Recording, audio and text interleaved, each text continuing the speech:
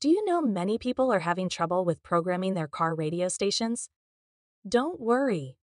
In this video, we'll show you how you do this. Let's start.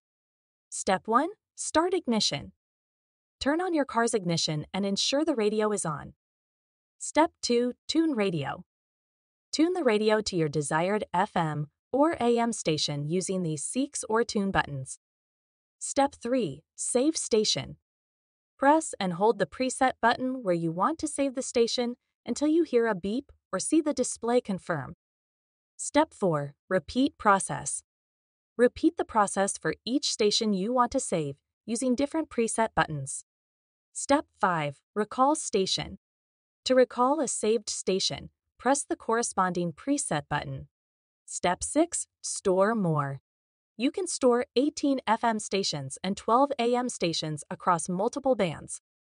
By following these steps, you should now be able to program and recall your favorite radio stations easily in your 2017 Subaru Forester. Still need help? Visit our website for the complete manual. There you will also find questions and answers from other Subaru users. Did you find this video helpful? By subscribing, you help us continue to answer users' questions.